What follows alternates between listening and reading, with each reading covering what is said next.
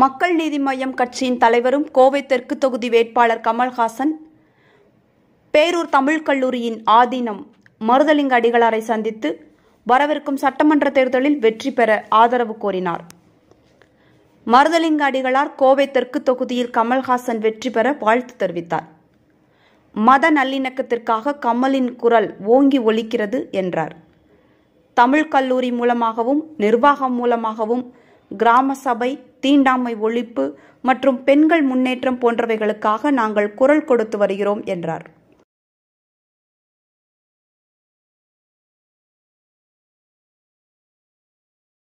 கமலின் எண்ணங்களும் அதுவாகவே இருப்பதாக தெரிவித்தார்.